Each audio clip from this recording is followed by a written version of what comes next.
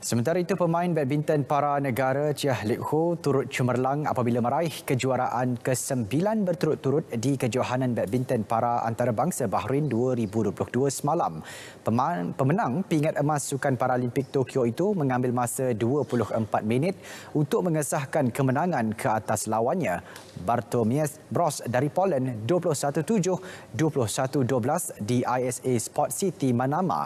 Ini gelaran kedua dia menangi Lik Ho tahun ini selepas muncul juara antarabangsa Brazil 2022 bulan lepas. Pemain ranking kedua dunia kategori kecacatan fizikal itu turut memenangi acara beregu apabila dia dan gandingannya Faris Anwar menewaskan pilihan utama dari India Chiras Bareta Rajkumar 14-21, 21-19, 21-17. Selepas ini Lekho yang dibimbing jurulatih Datuk Rashid Siddiq akan beraksi dalam kejohanan di Dubai minggu depan.